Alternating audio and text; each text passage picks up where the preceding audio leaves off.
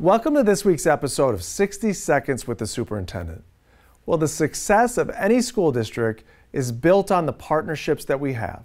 And one of the great partnerships we have in our school district is with the Strongsville Education Foundation.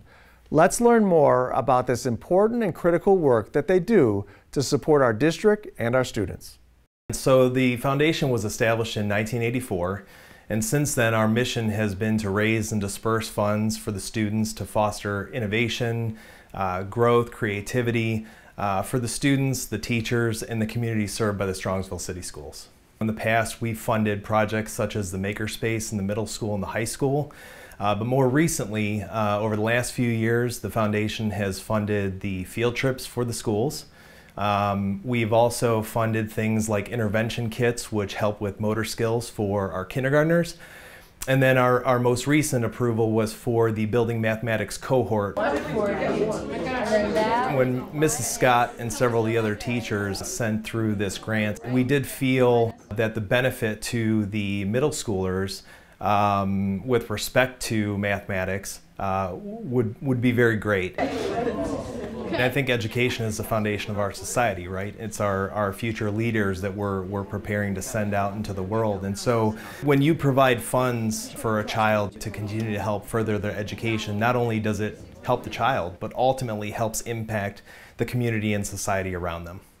So a group of us got together and said, you know what? Why don't we create a book club?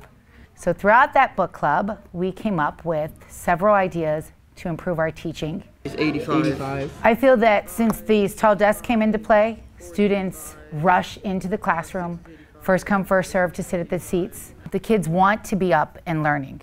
They, they're tired of sitting all day.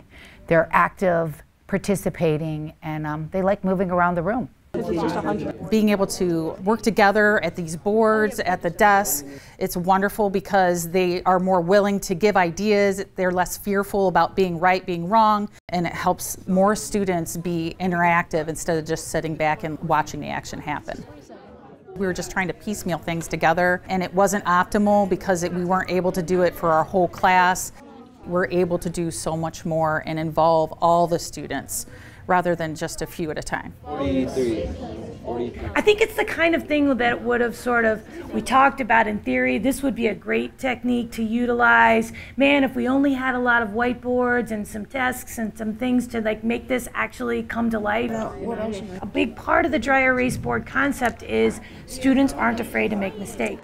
So this process has really created an entire school atmosphere where students are willing to take more risks, where they're willing to be more adaptable to like I'm not sure if I know this answer, but I'm going to see if I can work together with my partner to figure it out.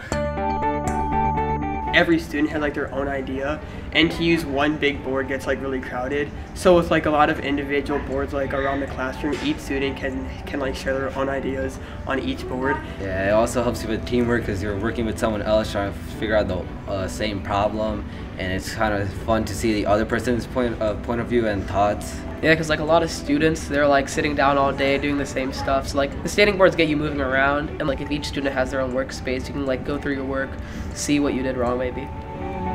The Strongsville Education Foundation was incredibly generous. The world of math education is just exponentially changing, and we are we are brightening up to so many big, huge things. And to know that they have our back and have our support to make those kind of goals come to life is, is great. As you've heard throughout this episode, the funding, the support, the educator grants that are provided to our teachers in our school district have an immediate and positive impact on our students. As always, thanks for watching and go make it a great Mustang week.